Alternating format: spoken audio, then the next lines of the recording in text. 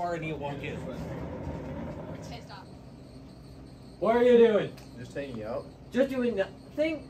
Go out there and go get a job for yourself. Come on, you gotta support this family. So, there's anyone's Friday? What's that? Yeah, they are. He needs them. Needs them for what? To cope. Coke for what? Dude, my mom died. Oh man, that stinks. But you don't need the drugs. Yes, he does. It helps him. Other things can make you happy. You know what? Like what? You should come to the game with us on Friday. Ah. He's doing drugs with me on Friday. Hey, guys, quit it. Get to class. Let's go.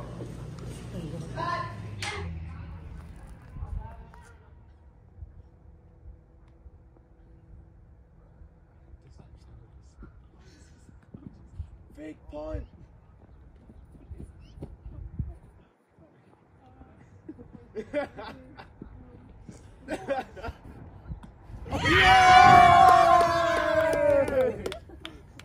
Wow, guys, thanks for inviting me. This is fun. Yeah, see, you don't need drugs to cope. Yeah, all you need is friends. You guys are right. I don't need drugs. I can find a better way to cope with my mom's death. Maybe you should seek some professional help.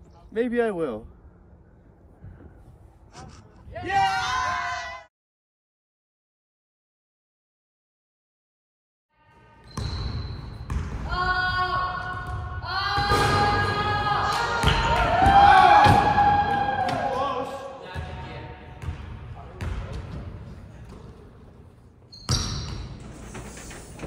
Oh, didn't see you there.